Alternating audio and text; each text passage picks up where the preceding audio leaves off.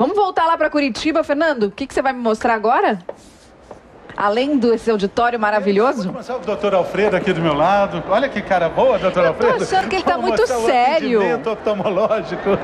Ó, a Mariana está dizendo que o senhor está muito sério, doutor Alfredo. Vocês não acham? É que eu tô sem avental, entendeu? Eu tô me sentindo Tá deslocado. certo. Mas aqui eu tive a oportunidade de ver isso que está se fazendo aqui tem que fazer em todos os lugares. Um mutirão de saúde. Eu tive a oportunidade de ver, viu, Fernando?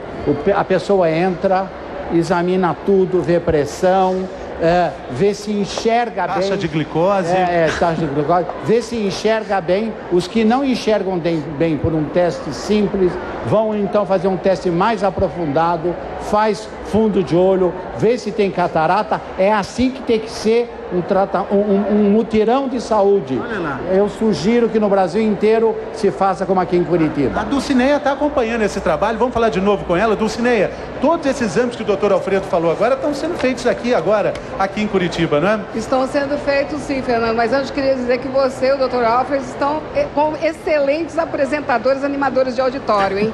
E aqui são oito consultórios, onde as pessoas estão fazendo desde os exames mais básicos e até podem sair daqui com a receita para adquirir o óculos. Elas vão ganhar o óculos da prefeitura. Eu vou interromper um pouquinho aqui o trabalho do Dr. Carlos Moreira Júnior, que é oftalmologista, para ele nos explicar quais exames que estão sendo feitos aqui. Sem dúvida, nós primeiro fazemos uma triagem da acuidade visual e esses pacientes são encaminhados ou para óculos dos 40 ou anos? para exames mais especializados. Quando a gente observa que tem diabetes ou que tem outra doença mais grave, eles são encaminhados para uma clínica credenciada que vai fazer exames adicionais. Ok, a, a dona Luísa. A, a dona Luísa está aqui, olha, ela acabou de fazer o, o exame, né, Dulcineia. dona Luísa Ramos? E ela tem uma perguntinha para fazer. Espera um pouquinho. Não, eu só quero saber o seguinte, é que a minha mãe, ela sofre muito de diabetes. Então, ela, inclusive, ela fez uma operação da, da, da vista e diz a médica que é por causa do, do laser. Daí ela perdeu a visão.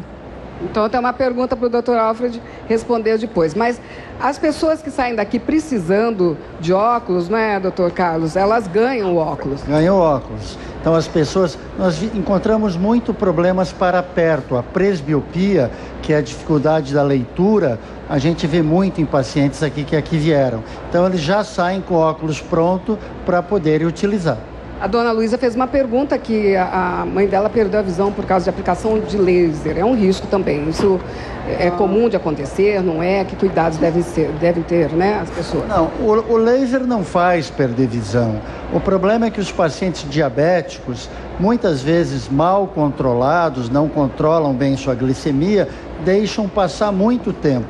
E quando procuram o tratamento, que na maioria das vezes é o laser, procuram tarde demais. E infelizmente as coisas acabam mal. Mas quando procurar precocemente, na época correta, melhora a visão. Ok, muito obrigada. Então, hoje até às 5 horas da tarde vai ter esse atendimento oftalmológico aqui na Praça Oswaldo Cruz, onde está sendo realizado o bem-estar. Fernando. Ótimo! E aqui